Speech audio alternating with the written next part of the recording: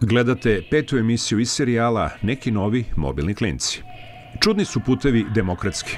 Svima su puna usta raznih sloboda, posebno mišljenja i javne reči. A onda se desi korona i preporuka da se ljudi vakcinišu. Novak Đoković reče ja ne bih i čovjek postade globalni neprijatelj broj 1 preko tih istih demokratskih medija.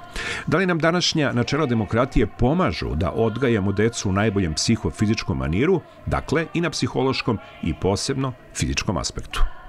Pa, to je, e, to je sa novim tehnologijama došlo. Jer vi ako nešto uradite ranije, videla vas dva drugara i vi uvek možete kažete nije se desilo. Da. I uvek možete dođe, dobijete eto, možda neku kritiku i tako dalje od drugara ili ti da rešiš to na, na nivou od 3-4 drugara. Međutim, ako sad nešto napravite, a svi grešimo, znači ne postoji čovjek koji ne pogreši. Ne postoji čovjek koji se nije nekad izblamirao, napravio neku glupost. Naravno, pa dobro, to je tako ljudski, mislim. Jel tako? I sad, sad vas neko snimi i odjednom može da vas vidi 5 miliona ljudi, 50 miliona ljudi. Ako, ako ste veću glupost napravili, vi ćete da osvanete na pretraživaču sa mnogo većim brojem pregleda, tako? I sad, šta to znači?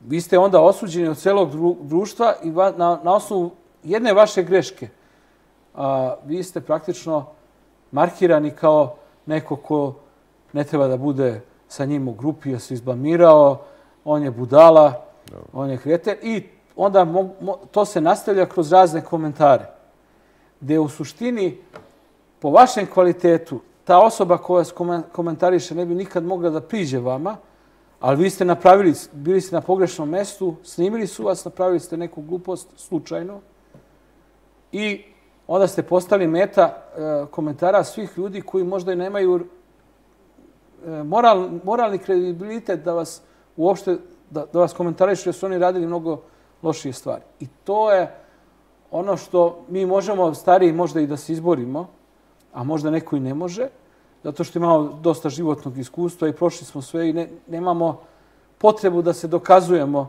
bilo, bilo kome drugom, za razliku od dece koje su tu jako osjetljiva.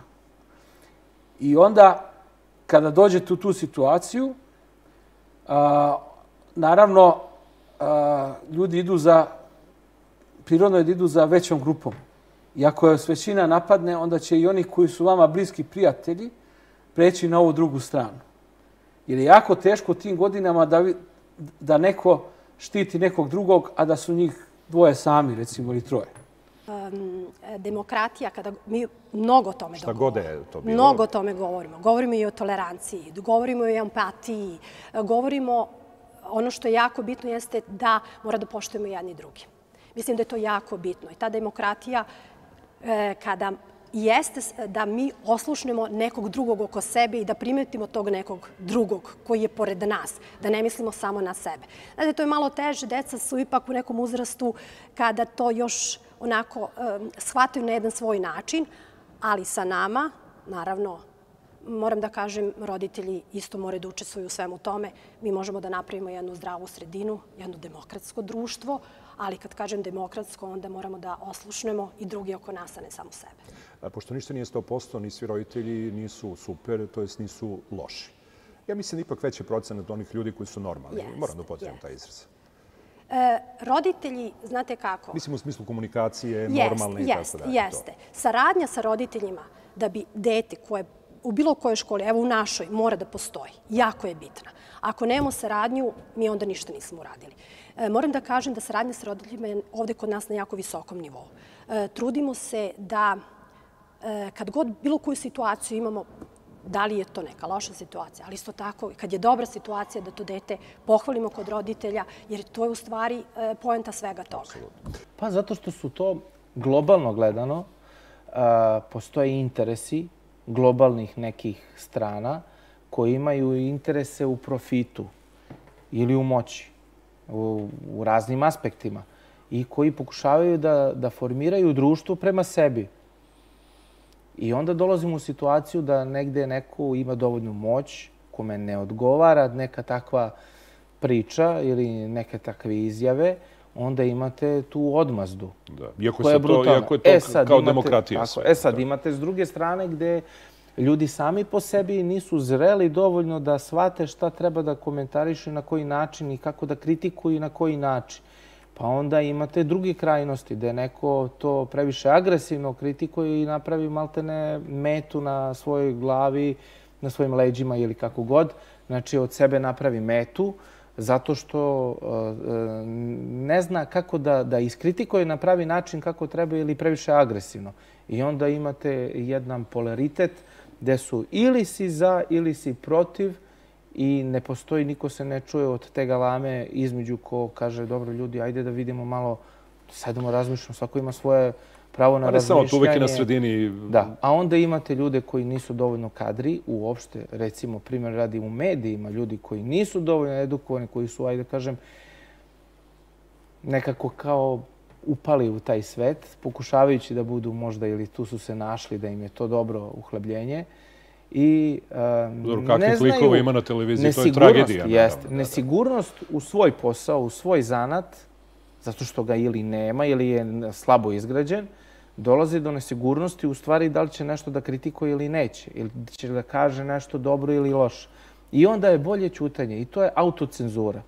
To je ta, ja mislim, više prisutna ta autocenzura gde e, ljudi iz e, nekog neznanja ili e, nesvatanja, odnosno ne, nemaju stručnost dovoljnu da kažu a, ne, to nije tako, imate ovako, tako i to je to, to je vest, takva je vest, to i to.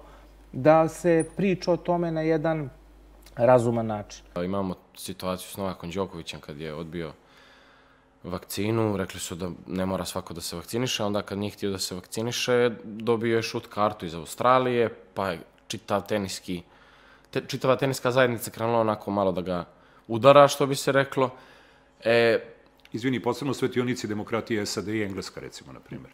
Taj Uostalom. zapad koji forsira kako su oni jako demokratični tako. Pa jeste, i evo generalno ja se bavim YouTube-om nekih 8 godina, posle par godina je došlo do mijenjanja oblika zanimanja, naziva influencer i sad ljudi očekuju ti kao influencer da imaš uticaj na ljudi šta će ljudi da rade, ali onda ako kažeš nešto što ljudima ne odgovara, a niko ne kaže da ti nemaš pravo to da kažeš, već od tebe traže to pravo, reci, reci, budi tu, i onda kad kažeš i ljudima se to ne svidi, dolazi do osude, dolazi možda i do gubitka saradnji sa sponzorima, do mnogo nekih stvari, do mm, toga da budeš nepoželjan možda u nekoj emisiji ili šta god. Uglavnom, mislim da demokratija u današnjoj godini je samo izmišljena stvar i da je to oblik mašte, jer sve smo osim u demokratskom društvu.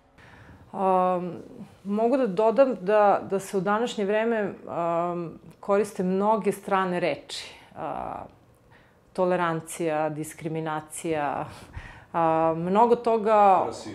A, mnogo toga što nam je, što nam je bilo a, strano u ponašanju, a, ali mnogo toga što nije bilo sastavni deo našeg, a, našeg svakodnevnog govora. A, volela bih da se vratimo, nikada se nećemo vratiti u vreme, ali a, volela bih da se vratimo na one osnove a, koje je činilo jedna lepa srpska reč, dve lepe srpske reči, kućno vaspitanje. Mislim da sve polazi od kućnog vaspitanja a, kada prolazite kroz jedno a, zdravo, lepo vaspitanje u kući, kada u kući postavite dobre temelje, sve ostalo je manji problem. A, I svi onda mnogo lakše pronalazimo svoje mesto u životu.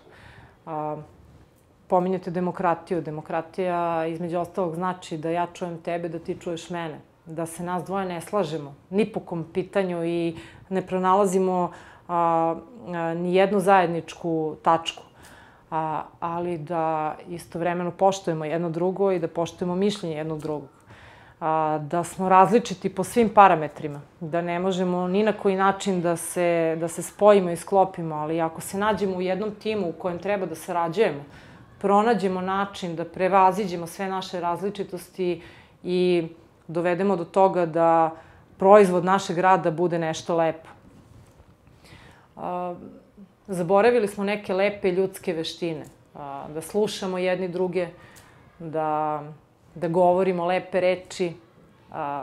Nije toliko važno samo ustati ujutru i umiti se. Ponekad treba uzeti, da tako kažem, gutljaj lepih reči, progrgoljiti grlo i ostatak dana provesti u takvom jednom tonu. A, malo više razumevanja i malo više a, pokušaja da čujemo, da čujemo jedni drugi, ali i da se prispitamo sami. Nikada nismo apsolutno u pravu i uvek u pravu samo mi. Nikada nije na prvom mestu i apsolutno na prvom mestu samo moja želja. Postoji još neko pored mene.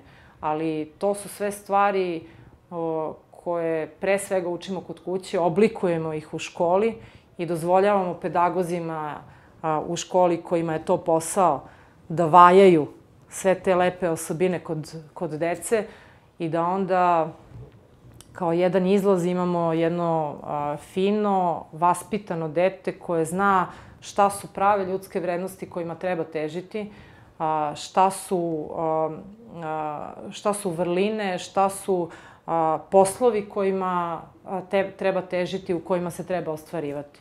I šta su na kraju krajeva njihovi životni ciljevi koji će se tokom vremena i menjati, usmeravati na drugačiji način, ali uvek uz poštovanje i vlastite ličnosti, ali i uz poštovanje onoga koje je preko puta nas. Pa i to se zloupotrebljava. I to se zloupotrebljava da verbalni delikt danas svašta, sve što se kaže može da bude verbalni delikt. Verovatno sam ja danas nešto izgovorio što neko može da kaže, aha, to je verbalni delikt, on nije za dečija prava, on nije ono. Sve može da se izvuče iz konteksta da, da se pre, predstavi kao verbalni delikt. Ja ne mislim da je sad to nešto previše izraženo, da se da ljudi govore isto kao što su i ranije, samo što se sada zbog tih svih organizacija i svega, tome daje mnogo, mnogo više pažnje pridodaje. Znate kako kad doćete čokoladu jednu da ovaj, e, promovišete, pa vi morate da u lep celofan. I taj celofan vi u stvari prodajete. Neće niko da kupi čokoladu šta je unutra, nego da tamo piše Milke da je svetlucava. E, nama su to predstavili kroz takve vrednosti. Svetlucave, lepe, slobode, sve može sve je lepo, sve, sve je dozvoljeno i na kraju smo dobili kroz sve to dozvoljeno jednu čokoladu koja je jako štetna i koja pravi destrukciju narodu. Tako da, apsolutno jedna od prevara, ali nije ona jedina. Ja ponovo se vraćam na taj period od 45. Iako nije on uzročni, ali od 45. pa vamo, to su samo, znate, kada dobijete bolest kancer, vi ga dobijete u tom momentu kao dijagnozu. A ste imali razne simptome do tog kancera. Nije se kancer pojavio tada. Destrukcija određenog načina života dovela do kancera. Tako da ovo je samo jedna od poslednjih faza tog kancera. Ali nama se kancer pojavio posle 45. godine kad smo izgubili porodicu kao osnovni sistem vrednosti, kad smo izgubili ovaj, to vaspitanje, ajde da kažemo po znacima navoda staromodno, iako to danas zvuči malo čudno, možemo da objasnimo šta to tačno znači sve detaljno, mada bi trajala emisija mnogo dugo. Ovaj, imali smo komunizam, pa neki socijalizam, jer tako, pa je onda došlo, došlo vreme te demokratije, jer tako, i sad imamo vreme kapitalizma gde se sve gleda kroz novac, a ne kroz čoveka onako kako je on u biti, njegovu duhovnost, njegove namere, nego koliko ima, koja kola vozi. I sledeća destrukcija će biti, verujte mi, još gora demokratija. To je moje mišljenje. A na što mislite konkretno? Pa ja mislim da će čovek da se totalno, vraćamo se na ove društvene mreže, na sve to, totalno da bude asocijalan. Znate, sledeća faza, svako može da pogleda malo, znate kako se zove Facebook danas? Danas se face zove, Facebook zove Meta Facebook. Da, Meta. Tako je. A znate zašto je Meta? Evo, ja ću da, mislim, ja imam ljude koji mi ulaze u komoru, recimo, ovde i koji danas kupuju zemlju u metaverzumu. Verujte mi, ja znam da ovo zvuče malo čudno ljudima, ali treba da se uputuju to. Znači, kupuju zemlju u digitalnom svetu. Znate, znači, ovi telefoni su samo prva faza. Znate, sledeća faza su one naočare, gde će deca, to je već polako promoviše, gde će deca kroz te naočare da ulaze u virtualni svet, potpuno da oni tamo žive. Tamo će imati svoju zemlju, svoje kuće, svoje kola, živeće bukvalno u igrici, znate. I još će više da sede sport kao ovakav, kakav mi danas vidimo mislim da za jedno 5 do 10 godina neće ni da postoji, jer će jednostavno deca da se zadovolje virtualnom stvarnošću po znacima navoda. Jer pazite, mnogo je lakše da odete i da osvojite a, u, vi, u virtualnom svetu, da osvojite da date go u futbalu, nego da trčite i da se znojite i da date go na realnom terenu, tako. Tako da ovaj, to je sledeća faza destrukcije koja će doći i mi vidimo da to u stvari ne doći, nego već polako dolazi. Deca sve više i više sede kući, ne pomeraju se iz kreveta, imaju svoje igrice, svoje monitore. To je prva faza. Doći će naočar gde će oni ulaziti polako u taj svet i ovo, ovo će biti što kaže blago kako šta nam, šta nam polako dolazi. I ovo recimo podatak jako interesantan i polako i njih osvajaju polako. Mi recimo do pre 20 godina statistički nismo imali diabetes u Africi. Nije postoje kao bolest. Znate kad je došao? Kad su Amerikanci bacili pomoć iz aviona u vidu paketa. To je ono čemu pričam. Uveli su to lepo u celo. To je pomoć. I oni su počeli da konzumiraju njihove industrijske proizvode i počeli su da dobiju diabetes. Znači, polako, hoću da vam kažem, i njih kroz razne te sfere zdravlja, tehnologije, oni ih polako informišu, tako da sigurno će kod njih malo kasnije da dođe to, kao i kod nas, realno. Mislim, mi pričamo, mi kaskamo za Evropom 20-30 godina. Ja to što kad sedim sa mojim prijateljima često volim da kažem, hvala Bogu. što ka, koliko god to surovo zvučilo, kažu pa deka, da, dobro je što kaskamo, jer još imamo i ove zdravu decu, i ove zdravu porodicu, i ove neki rezonski račin razmišljanja, dok vi to u Evropi i u svim tim prozapadnim zemljama apsolutno apsolutno nemate. Oni ovako, kao da su i stavili amove u koji to je to. Kako kaže onaj glavno komandujući, tako se radi i to je to. Ja mislim za početak da je ta reč demokratija dosta devastirana u našem društvu kao takva, zato što smo mi iz jednog sistema prešli u drugi sistem, pa u treći sistem, pa smo se vraćali, pa smo lutali i tako dalje i tako dalje. Ono što je jasno, jasno i važno je da uh, cela priča počinje na organizaciji jednog društva. Ako je jedno društvo dobro organizovano, možete ga nazvati i ovako i onako, da li je to reč demokratije ili nije, potpuno je sve jedno, ali društvo mora bude dobro organizovano. Da bi društvo bilo dobro organizovano, ono mora da ima određena pravila igre, a pravila igre se propisuju kroz zakone. Zakone imamo odličnih. Ja mislim, u mnogim oblastima imamo dobrih zakona. Problem je implementacija, čudna reč, ali da kažemo, ajde i srpsku reč, primena svih tih zakona i problem je onaj drugi deo, a to je da kroz tu implementaciju, odnosno primenu tog zakona, moramo imati kaznenu politiku koja određuje određene pravce kretanja. Ako ste vi napravili neku grešku, pa naravno naplatite mi kaznu. Ja nemam nikakav problem ako sam pro, po, nešto pogrešio, nisam uradio sa zakonom. Međutim, mislim da kod nas e, i dalje postoji taj neki rodbinsko-kumovsko-prijateljski odnos prema svima, pa ću ja preko ovoga i onoga. Znate, dolazimo do jedne situacije kada imamo u društvu pre par meseci, da ne kažem skoro godinu dana, jednu tra, veliku tragediju ili dve ili tri velike tragedije. Svako u ovaj, gubitak bilo koga u ovom svetu je tragičan, a pogotovo kad imate te mlade živote. Mislim da to je proisteklo iz jednog elitizma i jedne neosnovane stvari koje se tiče nečega što je izbegavanje i obaveza svih nas kao u, dru, u društvu, kao pojedinaca, da vodimo računa o svim tim stvarima. Ja polazim prvo od sebe. Svi smo okretali glavu na svim tim stvarima, svi smo se sklanjali, svi smo razmišljali o nekim drugim stvarima dok se tragedije nisu desile. A taj elitizam, moram ga tako nazvati, nažalost, i škole u kojoj se desila tragedija i pojedinaca koje su bili uključeni u sve to i nas kao nekoga ko je, ajde da kažem, elitistički okreto glavu od svih problema u ovom društvu, pričamo o društvu, ne pričamo o tom događaju, su rezultirali time da se ta je takav jedna stvar, nažalost, za sve nas ovaj, dogodi na štetu ne samo tih porodica koje su izgubili svoje najmilije, nego stotine porodica u ovoj državi koje su a, propatile zbog svega toga, naročito dece, sve dece u toj školi koje su bila učesnici nemilog događaja.